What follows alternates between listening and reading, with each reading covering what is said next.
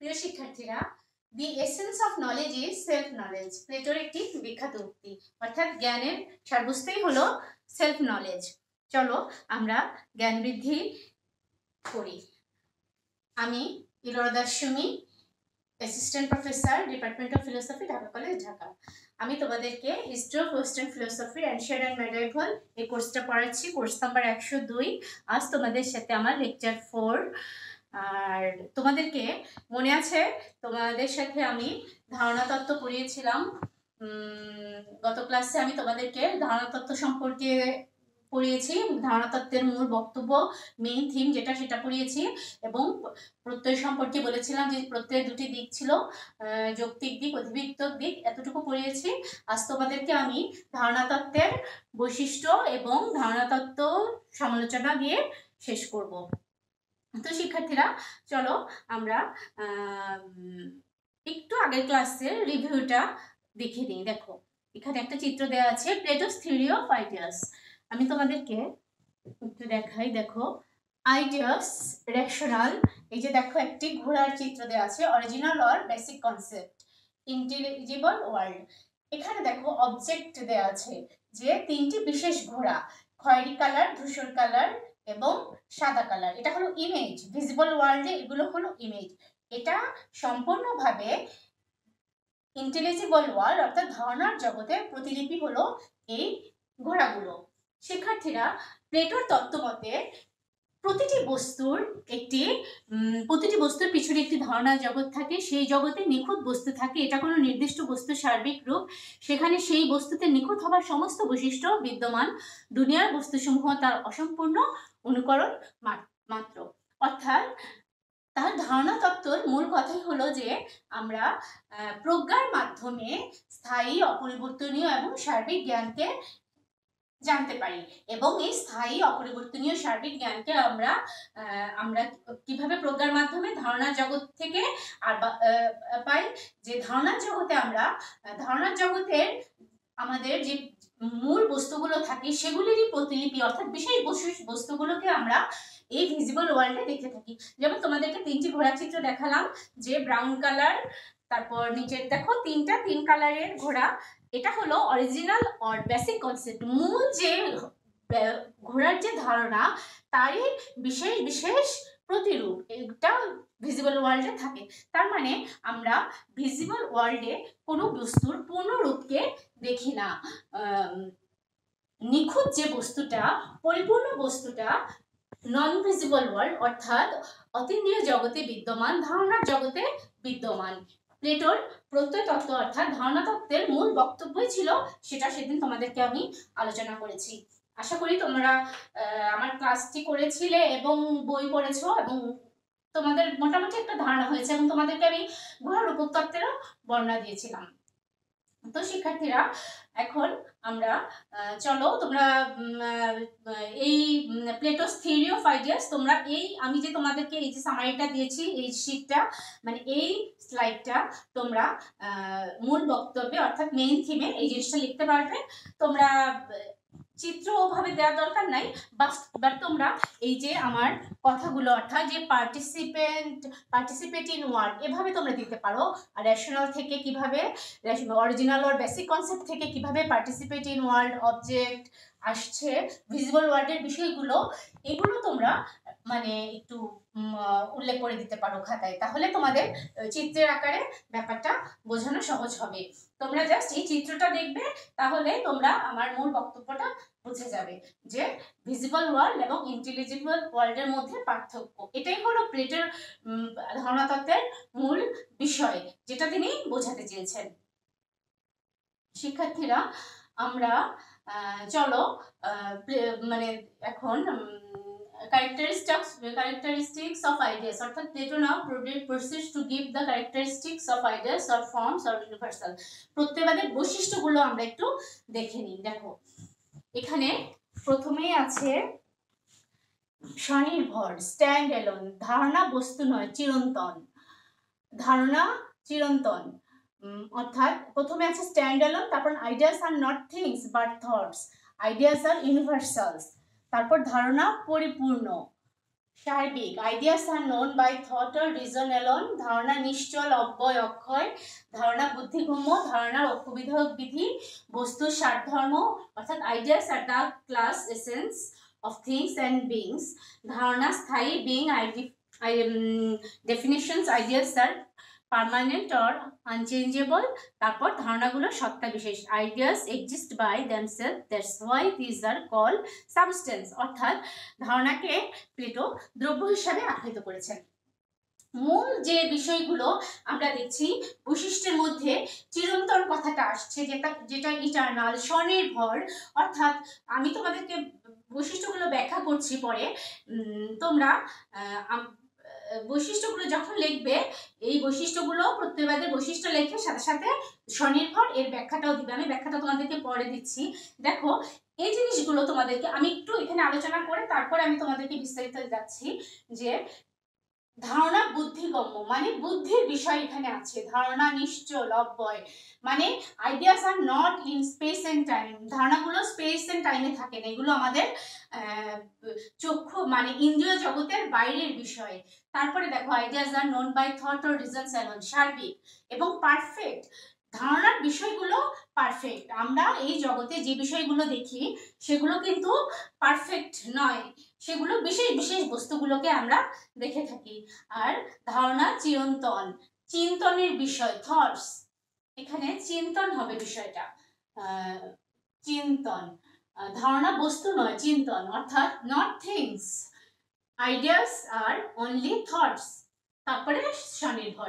আমার এই বৈশিষ্ট্যগুলো তোমরা দেখবে। আর তোমাদের বৈশিষ্ট্যগুলো আমি তোমাদেরকে ব্যাখ্যা করছি। তোমরা, আমি তোমাদেরকে যেভাবে বৈশিষ্ট্যগুলো ব্যাখ্যা করেছি, ঠিক সেভাবে তোমরা নোট আকারে সেটা তৈরি করবে। আর তোমরা, এই যে আমি তোমাদেরকে এই ঘোরার এই বিষয়টা দিলাম, তোমরা ঢাকা বিশ্ববিদ্যালয়ের অধীনে তোমরা পরীক্ষা দিবে, সাত কলেজের স্টুডেন্ট তোমাদের প্রশ্ন, একটা প্রশ্নের উত্তর, একটা প্রশ্নের মার্কস হলো বিশ মার্কস তোমাদের নোটটা সেরকম তৈরি করতে হবে। এবং আজকে তো তোমরা অবশ্যই আমাদের, আমার ক্লাস শেষ হয়ে যাবে, তোমরা অ্যাসাইনমেন্ট করবে, সেটা পরে আসবে। তোমরা এই জিনিসটা অবশ্যই কিন্তু তোমরা চিত্রের আকারে ব্যাখ্যা করবে। চিত্রটা আঁকো তোমরা। এই আমি যে ইংরেজি বিষয়গুলো দিয়েছি সেটা তোমরা, তোমাদেরকে আমি বোর্ডে করে দিলে ভালো হতো। যাই হোক, সমস্যা নেই, তোমরা এটা দেখলেই বুঝবে। চিত্রটা দেখলেই তোমরা বিষয়টা বুঝে যাবে যে তিনি ধারণা জগৎ সম্পর্কে কি বলতে চেয়েছেন। তারপরে তোমরা বৈশিষ্ট্যগুলো দেখলে, এখন আমি তোমাদেরকে বৈশিষ্ট্যগুলোর ব্যাখ্যা দিচ্ছি। তোমরা ব্যাখ্যাগুলো একটু দেখো। আমি একটু ব্যাখ্যা দিচ্ছি এবং তোমরা অবশ্যই প্রত্যেকটি বৈশিষ্ট্যের ব্যাখ্যাগুলো সুন্দর করে নোটে লিখে নিবে। প্রথমেই আছে স্বনির্ভর। প্রত্যয় বা ধারণা দ্রব্যের নামান্তর। দার্শনিক অর্থে দ্রব্য বলতে এমন পদার্থকে বোঝায় যা নিজেই তার অস্তিত্বের উৎস, অর্থাৎ দ্রব্য তার অস্তিত্বের জন্য অন্যের উপর নির্ভরশীল নয়। দ্রব্য স্বচালিত, স্বনির্ধারিত এ অর্থেই প্লেটো আকারকে দ্রব্য বলেছেন। আর দ্রব্য বলে তাদের অস্তিত্ব তাদের নিজেদের মধ্যে নিহিত। দ্রব্যের অস্তিত্ব অন্য কোনো কিছুর উপর নির্ভরশীল নয়, অন্য সব কিছুই তাদের উপর নির্ভরশীল। অর্থাৎ দ্রব্য এমন একটা বিষয় মানে তিনি তার প্রত্যয়বাদে ধারণাকে আকার অর্থাৎ দ্রব্যের সাথে তুলনা করেছেন, বলছে এটা এমন একটি বিষয় যে সে নিজে নিজের উপর নির্ভরশীল, অর্থাৎ স্বনির্ভর। এই দ্রব্য কোনো কিছুর উপর নির্ভরশীল নয়, বরং জগতের সকল বস্তু, সকল বিশেষ বিশেষ বস্তু এই মানে এই দ্রব্যের উপর নির্ভরশীল। সুতরাং প্রথম বৈশিষ্ট্যই হলো স্বনির্ভর স্বনির্ভর তত্ত্ব যেটা যেটা সেলফ ডিপেন্ডেন্ট বা স্ট্যান্ড এলন তোমাদেরকে আমি বলেছি যে স্বনির্ভর। তারপরে দেখো, ধারণা বস্তু নয়, চিন্তন। অর্থাৎ আইডিয়াস আর নট এটা হলো, এটা, এটাকে বলা হয়েছে বস্তু নয়, এটা হলো চিন্তা। এবং এটা কোনো বিশেষ দেখো এগুলো কোনো বিশেষ ব্যক্তি বা ঈশ্বরের চিন্তা নয়। এরা সার্বিক, এই ধারণাগুলো ব্যক্তি, মন নিরপেক্ষভাবে অস্তিত্বশীল। সুতরাং ধারণা বলতে মনের বাইরে স্বনির্ভর বস্তুগত চিন্তাকেই বোঝাচ্ছে তার মানে কি? ধারণাগুলো সম্পূর্ণ চিন্তার বিষয় এবং প্লেটো কি বলছেন ধারণা স্থায়ী, সার্বিক, অপরিবর্তনীয়, যেটা কিনা আমরা কীভাবে জানতে পারব? আমরা আমাদের প্রজ্ঞার মাধ্যমে ধারণাগুলোকে জানতে পারব। আমাদের প্রজ্ঞার মাধ্যমেই এই ধারণাগুলো আমাদের মাঝে চলে আসবে। তারপরে দেখো ধারণা হলো চিরন্তন।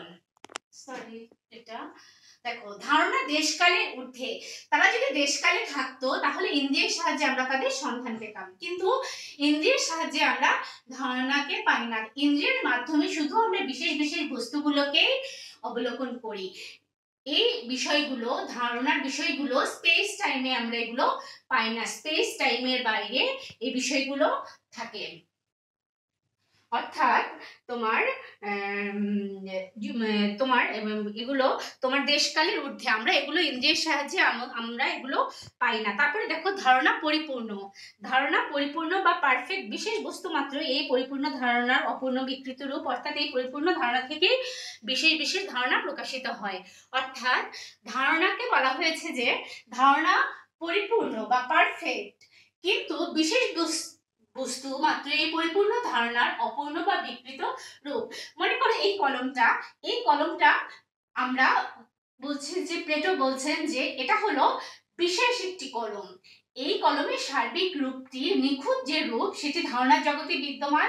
এই জগতে এই কলমের প্রতিলিপি, এটি হলো ধারণার জগতে যে নিখুঁত কলম রয়েছে, সেই নিখুঁত কলমের অনুলিপি মাত্র। তিনি বলতে চাচ্ছেন সেটা। তারপরে দেখো সার্বিক। আকার সার্বিক সার্বিক ধারণা। আকার বলতে কোনো কিছুকে নির্দেশ করা হয় না। যে আমরা ঘোড়ার ধারণা, আমরা ঘোড়া বলতে কোনো নির্দিষ্ট ঘোড়াকে তিনি বুঝাননি, যে বিশেষ কোনো ঘোড়া, সেটা না। ঘোড়া বলতে তিনি ঘোড়ার মূল উৎসকেই ধরেছেন। ঘোড়া হলো মূলের সার্বিক ধারণা। সব ঘোড়ার মূল উৎস বলতে তিনি বুঝেছেন সেই সার্বিক ঘোড়াকে। সে বা বিশেষ মানুষের ধারণা বলতে আমরা বুঝি সেই বিশেষ কোনো বিশেষ বিশেষ মানুষের কথা তিনি বলেননি। তিনি সেই সার্বিক মানুষের ধারণার কথা বলেছেন যে মানুষ হলো তোমার এই জগতে বিশেষ বিশেষ মানুষ, মানুষরা অবস্থান করে আর ধারণার জগতে সার্বিক মানুষ অর্থাৎ পারফেক্ট বিং পরিপূর্ণ মানুষ ধারণার জগতে বিদ্যমান। এটাই হলো তার সার্বিকতার মানে বৈশিষ্ট্য। যখন তোমরা লিখবে, তখন তোমরা ঘোড়ার উদাহরণ দিতে পারো। সেদিন তোমাদেরকে আমি মানুষের উদাহরণ দিয়েছিলাম, বিড়ালের উদাহরণ দিয়েছিলাম। যে বিড়াল বলতে তিনি আসলে কি বুঝিয়েছিলেন? তিনি বিশেষ বিড়ালের কথা বলেছিলেন যে বিড়াল বিশেষ বিড়ালের মতো ধারণার জগতে যে বিড়াল, সেই বিড়ালের মৃত্যু নেই, পরিবর্তনহীন, বিকারহীন। কিন্তু বিশেষ বিশেষ বিড়াল বলতে তিনি মানে সেই সেই কথা তিনি ব্যাখ্যা করেনি তারপরে দেখো, ধারণা হলো নিশ্চল অব্যয়, অক্ষয়। আমাদের এই জগতে প্রতিদিন অসংখ্য মানুষ জন্ম নিচ্ছেন মারা যাচ্ছেন কি হচ্ছে? অসংখ্য মানুষ, আবার যারা বেঁচে থাকে, তাদের মধ্যেও পরিবর্তন পরিবর্তন এই জগতের মূলনীতি কিন্তু ধারণা ধারণাকে বলছেন তিনি? নিশ্চল অব্যয় অক্ষয়, ধারণার কোনো পরিবর্তন নেই।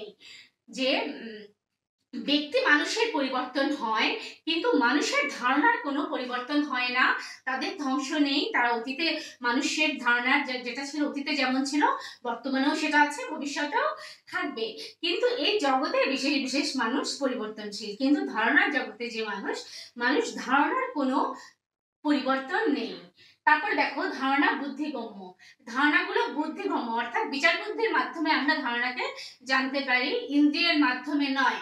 তিনি তার ধারণাতত্ত্বের মূল বক্তব্যের মূল কথাটাই তোমাদেরকে আমি আবার গত ক্লাসে বলেছি, আজও আমি রিপিট করছি যে ধারণাকে আমরা জানি প্রজ্ঞার মাধ্যমে, অর্থাৎ বুদ্ধির মাধ্যমে, ইন্দ্রিয়ের মাধ্যমে আমরা জানতে পারি না। বিচার বুদ্ধির মাধ্যমে আমরা ধারণাগুলোকে জানি, অর্থাৎ ধারণাগুলো বুদ্ধিগম্য।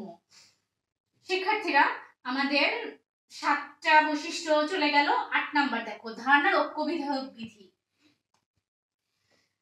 ধারণা বা প্রত্যয় হলো সমষ্টির ঐক্য।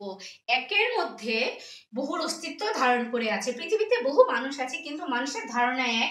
প্রতিটি বস্তু শ্রেণির একের বেশি থাকতে পারে না। শ্রেণির ধারণাগুলো অপরিবর্তনীয় অবিনশ্বর।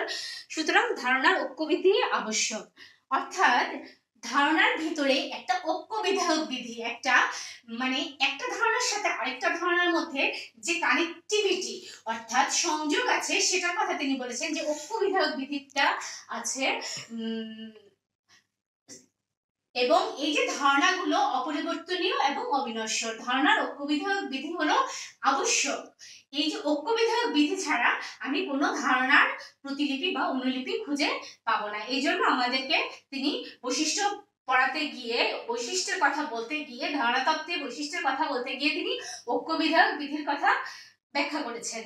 তোমরা অবশ্যই শিক্ষার্থীরা, আমি তোমাদেরকে আবার বলছি, তোমরা এই বৈশিষ্ট্যগুলোর কিন্তু ব্যাখ্যা দিবে। আমি তোমরা অনেক সময় শুধু বৈশিষ্ট্য লিখে লিখে দিয়ে আসো যে স্বনির্ভর ধারণারক্ষ বিধক বিধি, ধারণাগুলো অব্যয়, অক্ষয়, নিশ্চয়, এভাবে করলে হবে না। অবশ্যই ধারণা মানে এই বৈশিষ্ট্যগুলোর ব্যাখ্যা দিতে হবে। আমি তোমাদেরকে অনেক ছোট করে দিয়েছি, তোমরা আশা করি পড়লেই বুঝতে পারবে। আমি, আর আমি তো আলোচনা করছি। প্রত্যয়গুলো হলো বস্তুর সারধর্ম, অর্থাৎ ধারণা বস্তুগুলির সারাংশ, কিন্তু বস্তুর মধ্যে থাকে না। যে প্রত্যেকটা বস্তুর সারবস্তু সেই বস্তুর মধ্যে বিদ্যমান এবং ধারণা, বস্তু, গুণের সারাংশ, কিন্তু বস্তুর মধ্যে সেগুলো থাকে না। সেগুলো কোথায় থাকে? এগুলো আমাদের ধারণায় থাকে। এসেন্স অফ থিংস যেটা বস্তুর ধর্ম। তারপরে হলো ধারণা স্থায়ী। তিনি কিন্তু তার ধারণা তত্ত্বের বৈশিষ্ট্যে মূল বিষয় যেটা, সার্বিক, অপরিবর্তনীয়, স্থায়িত্বের কথা বলেছেন। ধারণা হলো অপরিবর্তনীয় স্থায়ী। বিশেষ বস্তু পরিবর্তন, লয় বা ধ্বংস হয়। হতে পারে, কিন্তু ধারণার বস্তু, ধারণার কোনো পরিবর্তন হয় না। ধারণাগুলো সবসময় অপরিবর্তনীয় সত্তা হিসেবে অস্তিত্বশীল থাকবে। The idea of perfect goodness জেলারের মতে, উত্তম ধারণা বলতে তিনি ঈশ্বরকে বুঝেছেন। অর্থাৎ, এখানে অপরিবর্তনীয় সত্তার কথা বলা হয়েছে। অর্থাৎ, দেখো ধারণা অপরিবর্তনীয় স্থায়ী বিশেষ বস্তুর পরিবর্তন, লয় বা ধ্বংস সাধিত হতে পারে। কিন্তু বস্তুর ধারণার কোনো পরিবর্তন নেই। ধারণাগুলো বস্তু জগৎকে নির্দেশ করলেও বস্তুর অস্তিত্বের সাথে অভেদ নয়। পৃথিবীতে সকল ভালো কাজগুলো একে একে বিলুপ্ত হয়ে গেলেও কি হবে? শিক্ষার্থীরা ভারতের সংজ্ঞার কিন্তু কোনো পরিবর্তন হবে না। ভালোর যে সংজ্ঞাটা, উত্তমের যে ধারণা, সত্য, শুভ, সুন্দরের যে ধারণা, সেই ধারণাগুলোর কিন্তু সংজ্ঞার কোনো পরিবর্তন হবে না। কোনো ব্যক্তি বিশেষ খারাপ হতেই পারে, কোনো ব্যক্তি বিশেষ অসুন্দর বা কোনো ব্যক্তি বিশেষ তোমার অমঙ্গলের কথা অমঙ্গল থাকতেই পারে। কিন্তু সত্য, শুভ, সুন্দরের সংজ্ঞা বা ভারতের সংজ্ঞার কোনো পরিবর্তন হবে না। তিনি আইডিয়া অফ পারফেক্ট গুডনেসের কথা বলেছেন। অর্থাৎ ভারতের যে সংজ্ঞা, সেটা অপরিবর্তনীয়। তারপরে দেখো ধারণা হলো সত্তা সত্তা বিশেষ এই সত্তার অস্তিত্ব অন্য কিছুর উপর নির্ভরশীল নয়, বরং জাগতিক সবকিছুই সত্তার উপর নির্ভরশীল। নিজের মধ্যে নিজের সত্তা নিজে স্বনির্ভর, পরিচালিত সবকিছু। যা অর্থাৎ ধারণার জগতে যে সত্তা, যে সাবস্টেন্সের তিনি কথা বলেছেন, যে তোমাদেরকে যে প্রথম যে বৈশিষ্ট্যটা বলেছি সেটার মতো কিছুটা এটা, যে প্রত্যেকটা জিনিস কে তিনি বলেছেন যে জগতের বিশেষ বিশেষ বস্তু তোমার ধারণার জগতের যে সার্বিক বস্তুর উপর নির্ভরশীল। এই কিন্তু ধারণার জগতে যে সত্তা আছে সেটা অন্য কোনো কিছুর উপর নির্ভরশীল নয়। অর্থাৎ এখানে এই সত্তার অস্তিত্ব অন্য কোনো কিছুর উপর নির্ভরশীল নয়, বরং জাগতিক সবকিছুই সত্তার উপর নির্ভরশীল। নিজের মধ্যেই নিজের সত্তা, নিজের স্বনির্ভর, স্বপরিচালিত সবকিছুর মূল। যেমন বিভিন্ন ধর্মের কথা বলা হয়েছে, ইসলাম ধর্ম, খ্রিস্ট ধর্ম, হিন্দু ধর্মে বলা হয়েছে যে ঈশ্বর জগৎ সৃষ্টিকারী সত্তা, কিন্তু নিজে অসৃষ্ট, অনুদ্ভূত সত্তা। ঈশ্বর হলো নিজে জগৎ সৃষ্টি করেছেন, কিন্তু নিজেই নিজেকে সৃষ্টি করেছেন। তিনি কোনো কিছু দ্বারা সৃষ্ট নয়। এখানে জগতের অস্তিত্ব জগতের উপর নেই। অর্থে ধারণাগুলো সত্তা যা চরম ও মৌলিক। মৌলিকত্বের উপর বেশি মানে গুরুত্ব দেওয়া হয়েছে। শিক্ষার্থীরা, আমরা বৈশিষ্ট্য প্রায় শেষের দিকে চলে আসলাম। আমাদের বারো নম্বর বৈশিষ্ট্য, যেটা হলো প্রত্যয়ের ক্রম ক্রমবন্ধন। খুবই গুরুত্বপূর্ণ যে জিনিসটার উপর মানে এই জিনিসটা তোমরা তোমরা অন্যগুলো একটু সংক্ষেপে নিজের মতো করে দিলেও এই মানে এই ক্রমবন্ধ প্রত্যেক ক্রম বারো বারো নম্বর বৈশিষ্ট্যটা তোমরা অবশ্যই কি করবে? পুরোটা দেওয়ার চেষ্টা করবে। এটার উপরেই কিন্তু মূল, মূলত পুরো বৈশিষ্ট্যটা সর্বশেষ কথাটাই যেন আমার কাছে মনে হয়েছে, এখানে বলা হয়েছে যে প্লেটোর মতে মানে প্রত্যেক ধারণার একটি ক্রম বা শ্রেণীবন্ধনের কথা তিনি আলোচনা করেছেন। প্লেটোর মতে, এক হলো সর্বোচ্চ সর্বব্যাপক এবং সামান্য ধারণা। মনে করো, বিভিন্ন ধরনের বর্ণ, শ্বেতত্ব, পিতত্ব বা লাল বর্ণ বা সবুজ বর্ণ, এই বর্ণগুলো কি বিশেষ বিশেষ বর্ণগুলো একটি সার্বিক বর্ণের অংশ বিশেষ, সার্বিক বর্ণের প্রতিলিপি মাত্র। কিন্তু বর্ণের যে ধারণা, সেটা কি হয়েছে? সেই বর্ণের ধারণাগুলোকে বর্ণের মূল ধারণাটা থেকে এই বিভিন্ন বর্ণগুলো এসেছে। এটা, এগুলো একটা পিরামিডের মতো। মনে করো তারপরে আছে তোমার বর্ণ, স্বাদ, গন্ধ, বিভিন্ন গুণ। গুণগুলোও কি? এগুলো সমস্ত কিছু একটা পিরামিডের মতো। ধারণাগুলো একটি সুসংহত পিরামিড সৃষ্টি করে। প্রথমে একটি বর্ণ, বর্ণের ধারণা। সেখান থেকে লাল, নীল, সবুজ, হলুদ বিভিন্ন বর্ণ আসে। এটাও একটা পিরামিডের আকার। আবার বর্ণ, স্বাদ, গন্ধ ইত্যাদি ধারণা গুণগুলো ইত্যাদি গুণগুলো ধারণার অন্তর্ভুক্ত।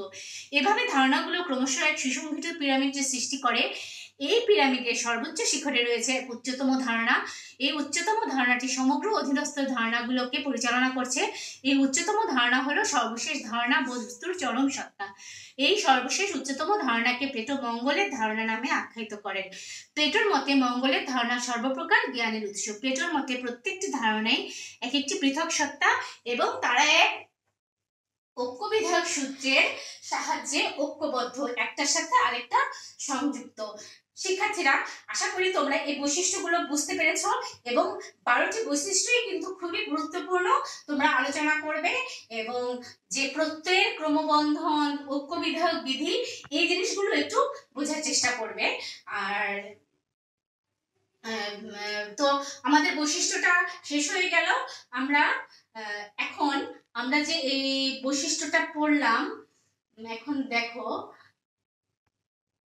প্লেটোর এই ধারণা তত্ত্ব থেকে আমরা আসলে কি পেলাম? আমরা এই ধারণা তত্ত্ব থেকে কি পেলাম? যে পরিদৃশ্যমান ইন্দ্রিয়গ্রাহ্য জগৎ সামান্য ধারণা এবং মঙ্গলের ধারণা। যে সর্বোচ্চ যে পিরামিডের স্তরে আমরা গিয়েছিলাম, সেখানে আমরা মঙ্গলের ধারণা দেখেছিলাম। তার মানে আমরা প্লেটো ধারণাবাদে আমরা তিনটি স্তর বা ধাপকে পেয়েছি। এক নম্বর পরিদৃশ্যমান ইন্দ্রিয়গ্রাহ্য জগৎ, সামান্য ধারণা এবং মঙ্গলের ধারণা। এই তিনটি ধাপটাই হলো তার ধারণাতত্ত্বের মূল বিষয়গুলি। তার মানে শিক্ষার্থীরা, আমরা বুঝলাম কি যে প্লেটো ধারণা তত্ত্ব পড়াতে গিয়ে আমরা দেখলাম যে ধারণাগুলো হলো চিন্তন, ধারণা চিরন্তন, স্বনির্ভর, অপরিবর্তনীয়, স্থায়ী, সার্বিক, একটি ঐক্যবিধায়ক, সর্ব ঐক্যবিধায়ক সূত্রের সাহায্যে, একে অপরের সাহায্যে বন্ধনে আবদ্ধ এবং তারা সর্বশেষ যেটা মঙ্গলের ধারণা, সত্যের ধারণা, শুভর ধারণা, এই কথাটা তিনি বললেন যে সর্বোচ্চ যে ধারণায় আমরা পাই, সেটা হলো মঙ্গলের ধারণা, সর্বোচ্চ ধারণায় আমরা পৌঁছি। এটাই হলো পরম সত্য, চরম সত্য এবং জগতের মূল তত্ত্ব আবিষ্কারের। এটাই যে what is ultimate reality of this world যে দর্শনের মূল তত্ত্ব আলোচনা করতে যেয়ে কিন্তু এই যে এই জগৎ সম্পর্কে আলোচনা করতে যেয়ে কিন্তু দর্শনের আলোচনা এসেছিল। তোমাদেরকে আমি প্রাচীন যুগের দর্শনে, এখন তো প্লেটো অ্যারিস্টটল এসেছি। প্রাচীন যুগের প্রথম পর্বের সেই দার্শনিক থেলিস এনাক্সিমেন্ডার এনাক্সিমিনিস যখন পড়িয়েছি, তখন আমি তোমাদেরকে আলোচনা করেছিলাম যে কেন দর্শনের অগ্রযাত্রা শুরু হয়েছিল, যে এই জগৎ এবং জীবনেরটা, জীবনের উদ্দেশ্য কি? এই আমি কে? এই প্রশ্ন থেকে দর্শনের উৎপত্তি হয়েছিল এবং আলটিমেট রিয়েলিটিটা বের করাই ছিল প্রত্যেকটি দার্শনিকের, প্রত্যেক দার্শনিকের মূল বৈশিষ্ট্য। প্রত্যেক ভাববাদী দার্শনিকদের মূল মতবাদ বা তত্ত্বই ছিল যে হোয়াট ইজ আলটিমেট রিয়েলিটি তো শিক্ষার্থীরা, তোমরা আশা করি আমি এতক্ষণ তোমাদেরকে যে বৈশিষ্ট্য পড়িয়েছি তোমরা বুঝতে পেরেছ। এখন আসো, আমরা সমালোচনায় আসি। যে প্লেটো অ্যারিস্টোটল কর্তৃক প্লেটোর ধারণা তত্ত্বের সমালোচনা। তিনি কীভাবে সমালোচনা করেছেন যে এখানে হয়তো বিভিন্ন ধরনের অসঙ্গতি অ্যারিস্টোটল খুঁজে পেয়েছিলেন? তো দেখো ধারণা তত্ত্ব বস্তুর অস্তিত্ব দিতে অস্তিত্ব ব্যাখ্যা দিতে অক্ষম। অর্থাৎ প্লেটোর ধারণা তত্ত্ব বস্তুর অস্তিত্বকে ব্যাখ্যা দিতে পারে না। জগৎকে কেন আমরা এখানে দেখতে পাচ্ছি? অর্থাৎ কেন অস্তিত্বশীল? এটা দর্শনের প্রধান সমস্যা। কিন্তু প্লেটোর ধারণা তত্ত্ব এই সমস্যার কোনো সমাধান দিতে সক্ষম হননি। যদি মেনে নেওয়া যায় যে সৌন্দর্যের ধারণা বা আকারের অস্তিত্ব আছে, তাহলে কীভাবে সুন্দর বস্তু উৎপন্ন করে তা আমাদের বোধগম্য নয়। তারপরে দেখো ধারণা তত্ত্ব বিশ্বকে বর্ণনা করতে ব্যর্থ। অ্যারিস্টোটল বিভিন্ন যুক্তি দিয়ে দেখিয়েছেন যে প্লেটো ধারণা তত্ত্ব বিশ্বকে ব্যাখ্যা করতে পারেন না। যে দুই নাম্বার যে আমাদের নিজে আমি তোমাদেরকে মাত্রই বললাম যে, জগৎ জীবনের ব্যাখ্যা দেওয়াটাই দর্শনের মূল উদ্দেশ্য ছিল। প্লেটো কিন্তু ধারণা তত্ত্ব ব্যাখ্যা দিয়েছেন এই বিশ্বটাকে, এই জগৎটাকে জান- জানতে গিয়ে। কিন্তু এই জগৎটা সম্পর্কে তিনি বলেছেন যে এই জগৎটাই সম্পূর্ণ মানে এই জগৎটাকে তিনি কিন্তু ব্যাখ্যা দিতে পারেননি। তিনি আলটিমেট রিয়েলিটি অর্থাৎ ধারণার জগৎ কি, আসল জগৎ বলেছেন। আর এই জগৎকে তিনি ছায়া বলেছেন। মানে বিভিন্ন যুক্তি দিয়ে অ্যারিস্টটল মানে প্লেটোর এই ধারণা তত্ত্বের ব্যাখ্যা মানে সমালোচনা করেছেন যে ধারণাতত্ত্ব বস্তুর অস্তিত্বের ব্যাখ্যা দিতে অক্ষম, ধারণাতত্ত্ব বিশ্বকে ব্যাখ্যা করতে ব্যর্থ। তারপরে বলছেন যে ধারণাতত্ত্ব হলো অপ্রয়োজনীয়। এই যে আমরা বলছি যে এই কলমটা আসলে নিখুঁত কলম নয়, এই নিখুঁত কলমের অস্তিত্ব সার্বিক জগতে বিদ্যমান। তো অ্যারিস্টটল বলেন যে, তাহলে কি? দাঁড়াল। তাহলে এত এই এই এই জগৎটাকে, এই যে ভিজিবল ওয়ার্ল্ডটার তো কোনো ব্যাখ্যা এখানে আসলো না। তার মানে কি? ধারণার জগতের দ্বিত্ব রূপ ডুয়াল রূপ, এই কলম, এই যে কোটি কোটি মানুষ, সবকিছুই ধারণার জগতের প্রতিলিপি বা অনুলিপি। তার মানে কি? দ্বিত্বকরণ ডুয়াল রোল দ্বিত্বকরণের কথা তিনি বলেছেন যে, ধারণা তত্ত্ব তাহলে অপ্রয়োজনীয়। তো এটা তো ধারণা জগতের বর্ণনা করল, তাহলে এই জগতের কোনো ব্যাখ্যা আসলো না। তারপরে দেখো, তিনি কি বললেন? বস্তু ধারণার মধ্যকার সম্পর্কের ব্যাখ্যা অবোধগম্য বস্তুর সাথে ধারণার কি সম্পর্ক? এর যথাযথ ব্যাখ্যা তিনি দেননি। প্লেটো বলেন, ধারণাগুলো বস্তুর বা নমুনার এবং বস্তুসমূহ ধারণার প্রতিরূপ ও প্রত্যয়ের অন্তর্ভুক্ত। কিন্তু ধারণায় বস্তুর এই অন্তর্ভুক্তির কোনো যথাযথ ব্যাখ্যা তিনি দেননি। অর্থাৎ ধারণার সাথে বস্তুর যে সম্পর্ক, তিনি বলছেন যে বস্তু হলো ধারণার প্রতিরূপ বা অনুলিপি। কিন্তু কীভাবে প্রতিরূপ বা অনুলিপি আসলো বা কীভাবে সম্পর্কের সৃষ্টি হলো, এর কিন্তু যথাযথ ব্যাখ্যা তিনি দিতে পারেননি। তারপরে তিনি কি বললেন যে ইন্দ্রিয় বস্তুর ভ্রান্ত ধারণা? অ্যারিস্টটলের মতে ধারণা সম্পর্কীয় মতবাদে স্বীকার করা চলে না। প্লেটোর মতে আকার হলো ইন্দ্রিয়গ্রাহ্য বস্তুর স্বরূপ ধর্ম বা ইন্দ্রিয়গ্রাহ্য বস্তু থেকে স্বতন্ত্র থাকতে পারে। অ্যারিস্টটল বলেন, আকারের যদি ইন্দ্রিয়গ্রাহ্য বস্তু রূপে স্বতন্ত্রভাবে থাকে, তাহলে সেই আকারে বস্তুর স্বরূপ ধর্ম কীভাবে থাকতে পারে তা বোঝা যায় না। অর্থাৎ ইন্দ্রিয় বস্তু সম্পর্কে আমাদের মধ্যে একটি ভ্রান্ত ধারণার সৃষ্টি করে দিলেন প্লেটো, ধারণা বস্তু থেকে বিচ্ছিন্ন নয়। প্লেটোর মতে ধারণা বস্তু শাসত্তা কিন্তু ধারণা নিজে বস্তু বহির্ভূত। এর বিপক্ষে অ্যারিস্টটলের যুক্তি হলো, প্লেটো ভুলে যান যে বস্তুর শাসত্তা বস্তুর মধ্যে নিহিত। এর বাইরে নয়, সার্বিক হিসাবে শুধুমাত্র ধারণা শুধুমাত্র বিশেষই অবস্থান করে। সব ঘোড়ার সত্যতাই এর সার্বিক ঘোড়া। অর্থাৎ তিনি বলছেন যে ধারণার প্রতিরূপ বা অনুলিপি মাত্র, কিন্তু তিনি সেটা জানেন না। প্লেটোর মতে যে ধারণা বস্তুরই সার সারসত্তা আমরা ধারণা দিয়েই তো এই জগৎটাকে ব্যাখ্যা করেছি। ধারণার মাধ্যমে আমরা বস্তুর ব্যাখ্যা করে থাকি। আমরা কিন্তু এই জগতের ধারণা ছাড়া কিন্তু আমরা কোনো কিছুই ব্যাখ্যা করতে পারি না। তাই বলে যে ধারণার জগতে আসল জগৎ আলটিমেট রিয়েলিটি বা আলটিমেট গোল ওইটাই, আর আমাদের এই জগতের সব জগৎটা মিথ্যা, সেটা অ্যারিস্টটল স্বীকার করতে রাজি নন। গতির ব্যাখ্যা অনুপস্থিত, ধারণা বস্তুর অস্তিত্বকে ব্যাখ্যা করতে পারলেও গতিকে ব্যাখ্যা করতে পারে না। প্লেটোর ধারণায় গতির মূলনীতি অনুপস্থিত, অর্থাৎ এখানে তিনি, দেখো, গতিকে তিনি ব্যাখ্যা করেননি। তারপরে দেখো তৃতীয় ব্যক্তির যুক্তি। প্লেটোর ধারণাগুলো একদিকে সার্বিক, অন্যদিকে অস্তিত্বশীল। তর্কের খাতিরে সার্বিক ধারণার অস্তিত্ব মেনে নিলেও দ্রব্য ধারণা এ দুটোকে ধারণের জন্য তৃতীয় একটি ধারণার প্রয়োজন হবে। এই অ্যারিস্টটল এই যুক্তির নাম দিয়েছেন তৃতীয় মানুষের যুক্তি। মনে করো দ্রব্য একটি, ধারণা একটি। এই যুক্তিকে মানতে হলে আমাকে তৃতীয় একজন মানুষের কথা ভাবতে হবে এবং এই তৃতীয় মানুষের কথা ভাবতে গেলে আমাকে এই এটাকে কি করতে হবে? আমাকে আবার একটি তৃতীয় মানুষের, তৃতীয় কোনো অস্তিত্বের দিকে যেতে হবে। এভাবে যেতে যেতে একটি অনাবশ্যক দোষের সৃষ্টি হবে। এভাবে আমি কত পিছনের দিকে যাব? তাহলে তো কি আমি আলটিমেট যে আমার উদ্দেশ্য, বস্তু সম্পর্কে যে ধারণা এবং সেগুলো সম্পর্কে আমি জানতে পারব না। তারপরে প্লেটো বলেন যে অ্যারিস্টটল সমালোচনায় বলেন যে ধারণাগুলো অবিনশ্বর। যে যেহেতু ধারণাগুলো ইন্দ্রিয়গ্রাহ্য বস্তুগুলো মানে পরিবর্তনশীল জগৎ, এই এই জগৎটা পরিবর্তনশীল, আর এই সব কিছুই হলো অপরিবর্তনীয় জগতের মানে স্থায়ী জগতের প্রতিরূপ, তাহলে এই মানে তাহলে তো ইন্দ্রিয়গ্রাহ্য বিষয়গুলো অবিনশ্বর, অমর, অক্ষয় হয়ে দাঁড়াবে। কিন্তু আমরা জানি এই জগতে প্রতিনিয়ত পরিবর্তন হয়ে যাচ্ছে। তারপরে দেখো শিক্ষার্থীরা, প্লেটোর মত স্ববিরোধী। প্লেটোর মতে, ধারণা চিরন্তন সার্বিক, কিন্তু অভিজ্ঞতার জগতের পরিবর্তনশীল বস্তু অস্তিত্বশীল। এগুলোর কোনো বাস্তবতা নেই। একই বস্তুকে দূর থেকে দেখলে একরকম দেখা যায়, আবার কাছ থেকে দেখলে অন্যরকম দেখা যায়। কিন্তু প্লেটো আবার বলেন যে, ধারণা অবশ্যই কোথাও না কোথাও অস্তিত্বশীল থাকবে এবং সেটা বুদ্ধিগজ্য জগতে অস্তিত্বশীল। এ কথা বলে প্লেটো নিজের অজান্তেই নিজের বিরুদ্ধাচরণ করেছেন বলে মনে করেন। শিক্ষার্থীরা প্লেটো যে অপরিবর্তনীয়, গতিহীন, সার্বিক জগতের ব্যাখ্যা দিতে যে, তাহলে তো এই জগৎটাই সম্পূর্ণ মিথ্যা হয়ে গেল। তাহলে আমরা অ্যারিস্টোটলের এই সমালোচনা যখন আমরা আলোচনা করলাম, তখন আমরা দেখি যে প্লেটোর মতটা তো আসলে সেরকম সন্তোষজনক কোনো কিছু আমাদেরকে তথ্য বা তত্ত্ব উপাত্ত কিছুই দিতে পারছে না। তাহলে ধারণার জগতের প্রতিলিপি যদি হয়ে থাকে, আমরা আবার ওদিকে বলছি যে ধারণার জগতের বিষয়বস্তু স্থায়ী, অপরিবর্তনীয়, সার্বিক, তাহলে তো এই জগৎটাও অপরিবর্তনীয় সবকিছু হওয়া উচিত, তাই না?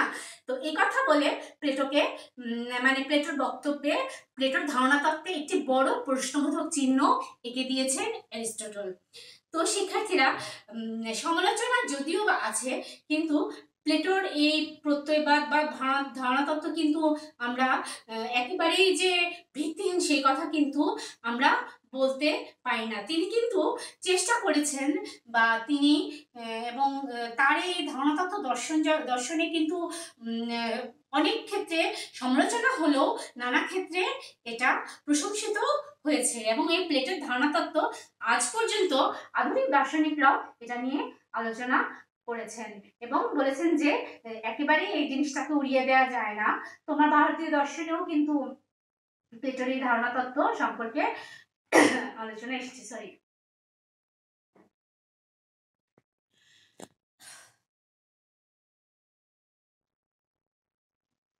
শিক্ষার্থীরা, আমাদের সমালোচনা শেষ হলো।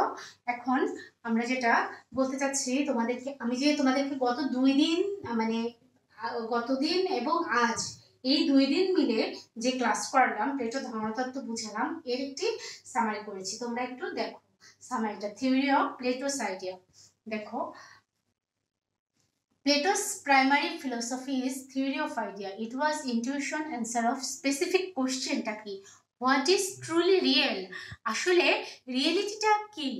এর মূল বিষয়টা যেটা হলো to answer the question Plato made synthesis between Heraclitus becoming and Parmenides being to integrate then a new the dualistic synthesis of being and becoming the synthesis was there are particular idea always change and nothing at rest and universal idea full complete immortal. And independent existence required by the artist এটাই হলো আমার মূল বিষয়টা।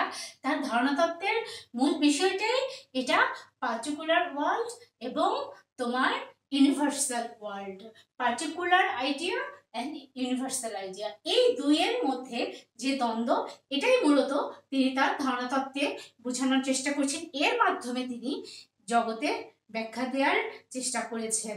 তো সুতরাং পরিশেষে আমরা আবার বলতে পারি যে যদিও সমালোচনা করেছেন, অ্যারিস্টটল সমালোচনা করেছেন, প্লেটোর এই ধারণা তত্ত্ব দর্শনে বিশাল একটি অবদান এবং প্রশংসার দাবিদার এবং খুবই গুরুত্বপূর্ণ একটি বিষয়। তো তোমরা আশা করি আমার এই ধারণাতত্ত্ব এই অ্যাসাইনমেন্টটা আজকে আমার শেষ হলো। তোমরা এই পুরোপুরি এই অ্যাসাইনমেন্টটা রেডি করে ফেলবে এবং আমাদের বছরের জন্য মানে এই ইয়ারে এই প্লেটোর এই তোমাদেরকে যা যা আমি পড়িয়েছি, শিক্ষা ব্যবস্থা, আদর্শ রাষ্ট্রের ধারণা, দার্শনিক রাজার ধারণা, সাম্যবাদ, এর মধ্যে এই জিনিসটাও খুব খুব important the theory of Plato's idea তো শিক্ষার্থীরা, তোমরা এই অ্যাসাইনমেন্টটা তো করবেই। তো তোমাদেরকে আমি আরেকটা জিনিস একটু দিচ্ছি, যেটা এই পড়ার সাথে হয়তো রিলেটেড না, কিন্তু as a student of philosophy ফিলোসফির একজন স্টুডেন্ট হিসেবে, প্রথম বর্ষের শিক্ষার্থী হিসেবে আমি মনে করেছি তোমাদের অন্তত এই জিনিসগুলো জানা দরকার। দেখো, একটা ট্রি দেওয়া আছে, এখানে দেওয়া আছে পজিটিভ এনার্জি এবং নেগেটিভ এনার্জি একজন মানুষের ভিতরে যে পজিটিভ দিকগুলো, এখানে আমি দেখো দুই তিনটে মোট এখানে বিশটা পজিটিভ এনার্জি এখানে প্রায় বিশটার মতো আছে এবং নেগেটিভ এনার্জিও ঠিক সেরকমভাবে বিশটা আছে। তোমরা এই বিশটার সাথে আরও দশটি বা পনেরোটি যুক্ত করবে পজিটিভ এনার্জি এবং নেগেটিভ এনার্জিও দশটি বা পনেরোটি, এখানে পনেরোটি আসলে এখানেও পনেরোটি আসবে, যুক্ত করে তোমরা একটি অ্যাসাইনমেন্ট করবে। এবং এটা যদিও আমাদের এই সিস্টেম অর্থাৎ আমাদের এই পড়ার সাথে যায়, যাচ্ছে না, তারপরেও আমি প্রথম বর্ষের স্টুডেন্ট হিসেবে আমি মনে করি এই অ্যাসাইনমেন্টটি তোমাদের খুব কাজে দিবে এবং তোমরা এই জিনিসটা পড়বে এবং পড়ে লেখার চেষ্টা করবে। আমি জানি যে তোমরা অনেক ভালো লিখো, তোমরা অনেকেই আছো যে খুব ভালো লিখে তোমরা এই অ্যাসাইনমেন্টটি আমাকে দেখাবে এবং এটি তোমাদের পড়া। তার মানে কি? আজকে তোমাদের দুইটা অ্যাসাইনমেন্ট আমি তোমাদের দিলাম। একটা হলো ধারণা তত্ত্ব আর আরেকটা হলো একজন মানুষ সম্পর্কে যে ধারণা, যে নেগেটিভিটি এবং পজিটিভিটি নেগেটিভ এনার্জি এবং পজিটিভ এনার্জি তোমরা খুব ভালো করে এই এই আমার এই স্লাইডটি দেখবে এবং দেখে তোমরা পড়ে তারপরে আমাকে একটু অ্যাসাইনমেন্টটি যখন কলেজ খুলবে তখন তোমরা আমাকে অ্যাসাইনমেন্টটি দেবে। তো শিক্ষার্থীরা অনেকক্ষণ তোমাদের তোমরা আমাদের আমার সাথে ছিলে। তো আশা করি তোমরা পড়াশোনা করছ এবং আমরা আশা করি খুব দ্রুত আমাদের সিলেবাস প্রায় শেষের দিকে আমরা আমাদের আরও কিছু ক্লাস দিলে সিলেবাস শেষ হয়ে যাবে। তোমরা পড়াশোনা করবে। আর খুব ভালো থাকবে। তোমাদেরকে অনেক অনেক ধন্যবাদ আমার সাথে এতক্ষণ থাকার জন্য। নিজে সচেতন সবচেয়ে বড় কথা যে এখন যে জিনিসটা জরুরি, লেখাপড়া তো করব, এটা তো আমাদের একটা অনুষঙ্গ যেটা আমাদের একটা মৌলিক যে বিষয়টা হয়েছে, সচেতনতা, স্বাস্থ্যবিধি, এই জিনিসটা আমাদের সবচেয়ে বড় বিষয়। এই স্বাস্থ্যবিধি আমরা মেনে চলবো এবং সচেতনভাবে সব কিছু যেখানেই যা কিছুই করব, আমরা সচেতনতা বৃদ্ধি যাতে হয় আমাদের, আমরা আমরা যাতে কনসাসনেসটা আমাদের মধ্যে থাকে, সেই জিনিসটা খেয়াল করব। তো শিক্ষার্থীরা অনেক অনেক ভালো থাকবে আর সুস্থ থাকো। আবার দেখা হবে পরবর্তী ক্লাসে শুভরাত্রি।